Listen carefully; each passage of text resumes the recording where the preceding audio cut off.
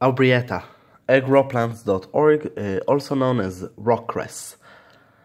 Uh, you can already understand that it can grow great on rocks, uh, so be aware that it's very easy to grow in very hard places.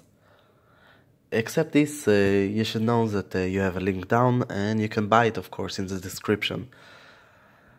So this plant is subshrub hibiscus and it's perennial evergreen and in a hot climate uh, it will grow as an annual. Here it actually grows as an annual.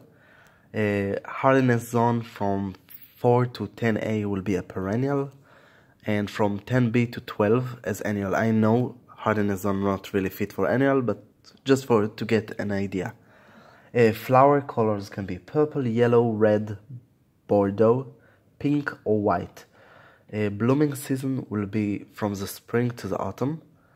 In hotter climate will be also from the autumn to the winter and even in the spring. A requirement for grow will be uh, prefer, as I said, rock soil. Uh, so it means drainage. It's very important. It's a better the plant grow the best without competition. And prefer a rich soil. So imagine this is in the wild.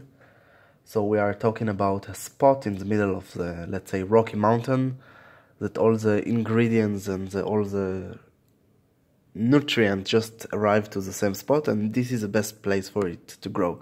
So try to to give this kind of uh, condition, and it will grow great. Okay, so you can start by uh, seeds cutting or plant. This is the easiest, of course. Uh, planting season will be from the spring to the autumn, spring to summer more in cold area, autumn in a hotter climate. Uh, aphids can be a crucial, but if you start to manage it in the moment that it's arrived, it's not very crucial.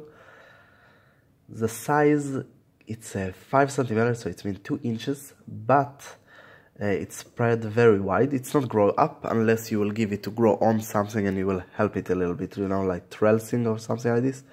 In the right condition, it's a fast-growing plant that require average amount of water. Grows the best in full sun, possible also in half a shade.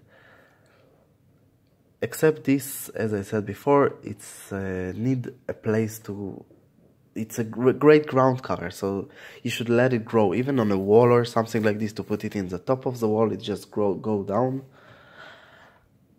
And except this as i said it's a easy plant to grow. It's all from growplants.org don't forget to subscribe visit our website and like this video. Uh, if you have any question just ask or you would like a video. Also you can ask uh, check for more video. Follow us on twitter and of course you have here a link to buy the plants that we talk about and also down